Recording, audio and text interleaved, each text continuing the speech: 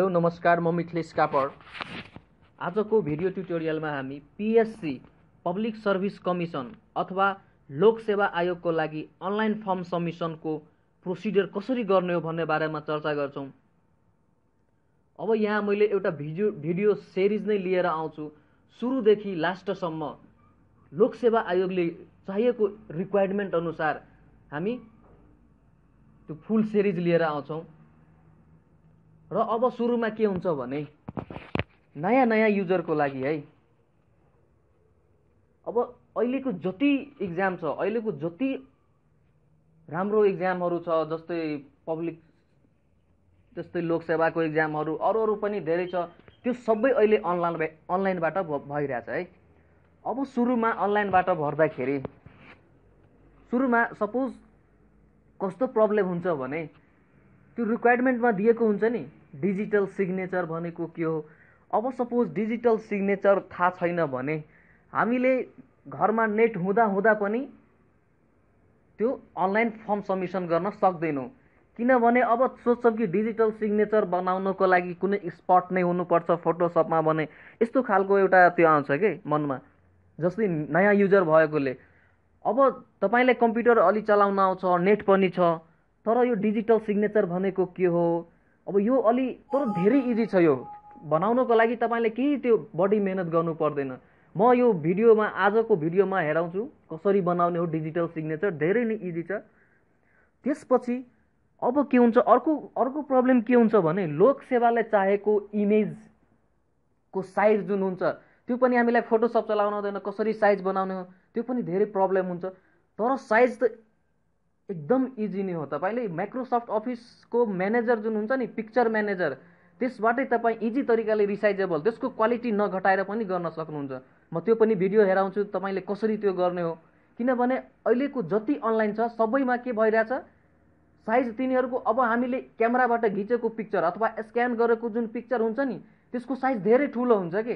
तर तिनीहरूले के हुन्छ अब जस्तै लोकसेवा आयोगले दुई सयभन्दा तल भनेको केबी किलोवाइट दुई सय किलोवाइटभन्दा तल त्यो ल्याउनु पर्छ साइज ल्याउनु पर्छ तर हाम्रो इमेजमा कति हुन्छ? Two MB three MB four MB यस्तो हुन्छ। त्यसलाई त्यसको क्वालिटी नघटाएर हामी कसरी इजी तरिकाले त्यो रिसाइजेबल गर्छौँ त्यो पनि सिक्छौँ हामी सेकेन्ड भिडियोमा र अर्को प्रब्लम प्रब्लम के हुन्छ भने एउटा सपोज हामीलाई नेपाली टाइपिङ आउँदैन अब त्यहाँ नेपाली पनि भर्नुपर्छ। कतिले त नेपाली टाइपिङ नआएर पनि त्यो अनलाइनमा के अरे त्यो साइबरहरूमा गएर भर्छ कि? तर नेट हुँदा हुँदा पनि पिसी कम्प्युटर हुँदा हुँदा पनि तर नेपाली टाइपिङ तपाईँलाई केही आउँदैन। सपोज जिरो हुनुहुन्छ नेपाली टाइपिङमा त्यही पनि एउटा नेपाली सफ्टवेयर छ अथवा गुगल ट्रान्सलेटको बारेमा हामी चर्चा गर्छौँ त्यो थर्ड भिडियोमा लिएर आउँछौँ। त्यो भनेको जस्तै हामी इङ्ग्लिसमा लेख्छौँ नि एसएआरओजी नाम लेख्छौँ सरोज त्यो आफै त्यो नाम त्यहाँ आइहाल्छ कि? त्यो हामी भिडियोमा डिटेलमा हेर्छौँ। त्यसपछि अब नयाँ युजरको लागि के हुन्छ भने जिमेल एकाउन्ट भनेको के हो? त्यो पनि थाहा हुँदैन। अब धेरैले धेरैलाई थाहा हुन्छ युज गरेको हुन्छ तर त्यो थाहा हुन्छ तर त्यो त्यसको वास्तविक युज कहाँ हो? त्यो थाहा हुँदैन कि। म धेरै यस्तो मान्छे हेरेको छु। अहिले कि जिमेलको बारेमा थाहा हुन्छ यस्तो हुन्छ तर त्यो युजेबल भनेको कहाँ युज गर्ने त्यो भनेको थाहा हुँदैन। अब लोकसेवा आयोगकोमा के हुन्छ भने एउटा जिमेल तपाईँको नेसेसरी हुन्छ। जिमेल राख्नै पर्छ है। र यो जिमेलको पनि कसरी बनाउने हो भने म भिडियो लिएर आउँछु तपाईँहरू मसँगै रहनुहोस्। र आजको हाम्रो फर्स्ट फर्स्ट भिडियो ट्युटोरियल हो। अब लोकसेवाले चाहेको रिक्वायरमेन्ट रिक्वायरमेन्ट अनुसार जस्तै अब यहाँ हेर्नुहोस् म एउटा पिक्चर तपाईँलाई देखाउँछु।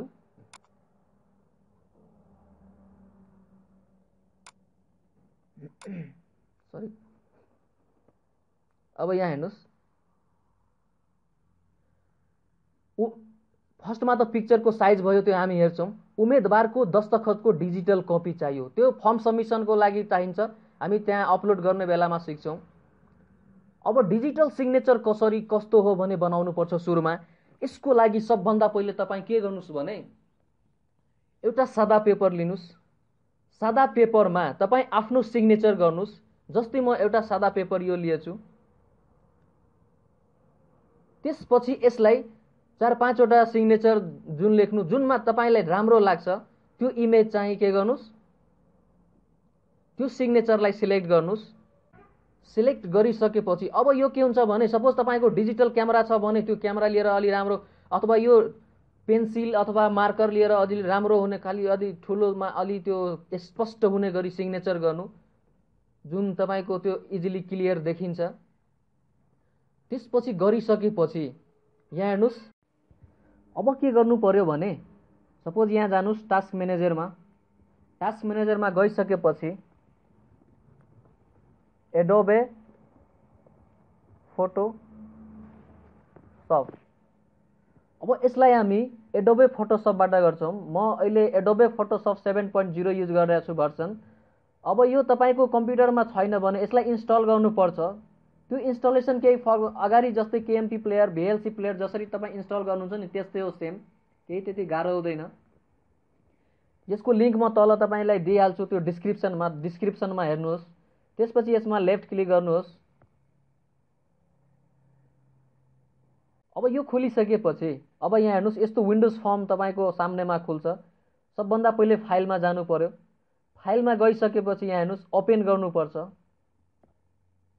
ओपेनमा तपाईँ त्यो क्यामेराबाट घिचेको अथवा मोबाइलबाट घिचेको सिग्नेचर जुन पेपरमा छ त्यो कहाँ छ त्यो त्यो गर्नुहोस्। म सपोज यहाँ डेस्कटपमा राखेको छु।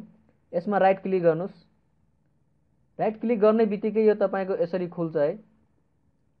अब के गर्नु पर्यो भने यसलाई सपोज यसमा कतिवटा छ जुन तपाईँलाई राम्रो लाग्छ है त्यो के गर्नु पर्यो? सेलेक्ट गर्नु पर्यो। सपोज मलाई यो फर्स्टको अलि राम्रो लागिरहेछ।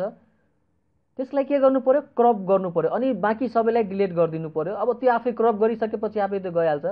क्रपको लागि यहाँ तपाईँ हेर्नुहुन्छ। क्रप टुल बने। यसमा राइट लेफ्ट क्लिक गर्नु सरी त्यसपछि यो पुरै लेटर देखिने गरी सिग्नेचर देखिने गरी क्रप गर्नुहोस्। यसरी गरेर छोडिदिनु सेलेक्ट गरेर।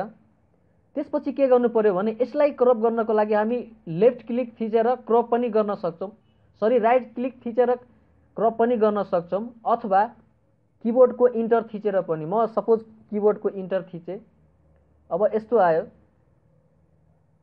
त्यसपछि के हुन्छ भने अब साइज मिलाउनको लागि है त्यसको रेजोल्युसन कति हुन्छ? साइज यदि वान हन्ड्रेडभन्दा माथि केबीभन्दा माथि भयो भने त्यो त एक्सेप्टेबल हुँदैन। त्यही भएर सुरुमा यसको हामी साइज मिलाउँ। साइजको लागि सुरुमा साइज मिलाउनु पऱ्यो है। साइजको लागि तपाईँ इमेज साइजमा जानुहोस् इमेज साइजमा यहाँ हेर्नुहोस् अब यसको रेजोल्युसन सपोज म ट्वेन्टी टू गरिदिएँ। यो साइज मिलाइसकेपछि ओके गरिदिनुहोस्। ओके भयो है। अब के गर्नु पर्यो भने इमेजमा जानुहोस्। इमेजमा गइसकेपछि एडजस्टमेन्टमा जानुहोस्। एडजस्टमेन्टमा गइसकेपछि तपाईँ यहाँ कर्ब्स भने हेर्नुहुन्छ। कन्ट्रोल एम यसको सर्टकिट सर्टकट की पनि हो सरी कर्डमा थिच्नुहोस्। त्यसपछि यहाँ आइसकेपछि अब यहाँ यहाँ जुन हेर्नुहुन्छ नि लास्टको सेट व्हाइट पोइन्ट त्यसमा क्लिक गर्नुहोस्। यसमा क्लिक गरिसकेपछि यहाँ जुन स्पेस छ नि जुन कुनै ठाउँमा लेफ्ट क्लिक गर्नुहोस्। यहाँ व्हाइट आइहाल्यो। अब यसलाई अलि अलि राम्ररी मिलाउनुहोस् है यसरी त्यो पुरै व्हाइट भयो भने ठिक्क हुन्छ त्यो केयरमेट भएको हुँदैन। अलिक क्लियर आउँछ है। यति राखौँ। त्यसपछि के गर्नु पऱ्यो भने अब तपाईँ ह्यान्ड राइटिङ कसरी लेख्नुपर्छ त्यो न राम्रो छ भने त्यो एडजस्टमेन्ट केही गर्नु पर्दैन यसरी। है यति नै राखौँ। त्यसपछि के गर्नु पऱ्यो ओके गरिदिनु पऱ्यो ओके गरिसकेपछि अब कहाँ जानु पऱ्यो भने सिलेक्ट भन्ने अप्सनमा जानुहोस्। सिलेक्टमा तपाईँ कलर रेन्ज भन्ने अप्सन हेर्नुहुन्छ। कलर रेन्जमा जानुहोस्। त्यसपछि यहाँ हेर्नुहोस्। अब के गर्नु पऱ्यो भने फ्युजनेस है यहाँ फ्युजिनेस भन्ने एउटा अप्सन छ। यसलाई घटाउने बढाउने गर्नुहोस् यसरी किनभने अब सुरुमा तपाईँको यस्तो हुन्छ होइन? अब लेटर नै हेरेको हुँदैन भने अब सपोज यसलाई कसरी स्पष्ट देखिन्छ के? स्पष्ट देखिने खालको आफ्नो त्यो अनुसार मिलाउनुहोस्। बडी लाइट पनि नदिनुहोस् त्यो प्रब्लमै हुन्छ। अब सपोज म यति राखेँ स्पष्ट क्लियर आइरहेछ। त्यसपछि अर्को एउटा अप्सन छ है तपाईँहरूको सुरुमा नन हुन्छ यहाँ। नन हुन्छ है। यो ननलाई के गर्नु पऱ्यो ग्रे स्केलमा लाउनु पऱ्यो ग्रे स्केलमा। त्यसपछिको जुन प्रोसेस छ यहाँ प्लस साइन हेरिराख्नु भएको छ प्लसमा जानुहोस् प्लस गरिसकेपछि यहाँ जुन हामीले लेखेको जुन लेटर छ नि यहाँ कुनै ठाउँमा गएर यसरी क्लिक गरिदिनु पर्यो। क्लिक गरिसकेपछि ओके गरिदिनुहोस् अब यहाँ हेर्नु। यस्तो एउटा झिलिमिली जस्तो यस्तो कस्तो आइरहेछ नि यसको मिनिङ के हो भने यो सेलेक्ट भइसक्यो। अब सेलेक्ट भइसकेपछि किबोर्डको कन्ट्रोल र जे थिच्नुहोस्। कन्ट्रोल जे थिच्ने बित्तिकै यहाँ हेर्नुहोस् एउटा लेयर बन्यो। अगाडि लेयर थिएन। लेयर बन्ने बित्तिकै अब के हुन्छ यहाँ आई हेर्नुहुन्छ यो आई इन्डिकेट लेयर भिजिबिलिटी तलको लागि तपाईँ क्लिक गरिदिनुहोस्। तलको आईलाई क्लिक गर्नुहोस् लेफ्ट क्लिक यसरी। यहाँ हेर्नुहोस् यहाँ ब्याकग्राउन्ड जस्तो एउटा आयो। अब हाम्रो काम चाहिँ नाइन्टी नाइन पर्सेन्ट सकिसकेको छ। यही नै हाम्रो डिजिटल सिग्नेचर हो। नाइन्टी नाइन थ्री केबी नाइ सरी नाइन्टी थ्री केबीको जुन जुन हामी मजाले त्यो अपलोड गर्न सक्छौँ। त्यसपछि लास्टमा के गर्नु पर्यो भने यसलाई सेभ गर्नु पर्यो। सेभ गर्नको लागि फाइलमा जानुहोस् फाइलमा गइसकेपछि सेभ एजमा जानुहोस् सेभ एजमा अब के गर्नु पर्यो भने यहाँ नाम लेख्नुहोस् जुन कुनै नाम। तपाईँलाई जुन मनपर्छ एमआइएलइएस माइल्स मैले वान राखेँ। त्यसपछि है एउटा कुरा यहाँ नबिर्सनुहोस् यो पिएचडी फर्मेट छ फर्मेटमा छ। यदि यो सेभ गर्नुभयो भने पुरै त्यो भइहाल्छ सेभ भइहाल्छ। त्यही भएर यहाँ के गर्नु पऱ्यो फर्मेटमा फोटोसप यो फर्मेट जुन छ नि यसलाई हामी पिएनजीमा गर्छौँ। पिएनजी यहाँ तल हेर्नुहुन्छ पिएनजी हुन्छ लेखेको पिएनजी फर्मेटमा पिएनजीमा सेलेक्ट गर्नुहोस् क्लिक गर्नुहोस्। त्यसपछि कहाँ राख्नुहुन्छ यो पिक्चर सपोज म डेस्कटपमा राख्न चाहन्छु। डेस्कटपमा राख्न चाहन्छु है। त्यसपछि सेभ गर्नुहोस्। त्यो अलरेडी एउटा नामको छँदैछ त्यही भएर म ओके गरिदिएँ। त्यसपछि यस्तो अप्सन आउँछ नन गरिदिनुहोस् ओके गरिदिनुहोस्। त्यसपछि अब हेर्नुहोस् यसको काम सिद्धियो। काटिदिनुहोस् यसलाई केही फरक पर्दैन। अब हेर्नुहोस् यो माइल्स वान अब जुन यो हामीले डिजिटल सिग्नेचर भनेको यही हो। यसलाई नै हामी के गर्छौँ अब? सपोज यहाँ इमेज दिएको हुन्छ। र इमेजलाई यसरी सिलेक्ट गरेर त्यसपछि इमेज सिलेक्ट गरेर होइन अब यो इमेजको तल हामीले त्यो राख्नु पर्यो। अब यो हामीले बनाएको जुन डिजिटल सिग्नेचर हो यही नै हाम्रो डिजिटल सिग्नेचर हो। यसलाई हामी इमेजको अब जब हामी इमेज रिसाइजेबल गर्छौँ त्यसको इमेज यो प्रोफाइल इमेज माथि हुन्छ र यसको तल हामी अपलोड गर्छौँ। अब आजको भिडियोमा हामी चाहिँ यति नै राखौँ। अर्को भिडियोमा हामीले त्यो डकुमेन्ट सपोज हाम्रो डकुमेन्ट छ भने सपोज यो हाम्रो डकुमेन्ट भयो है। डकुमेन्ट भनेको एकाडेमिक क्वालिफिकेसनमा तपाईँ जुन राख्नुभएछ अब सुरुमा यसको साइज धेरै हुन्छ होइन?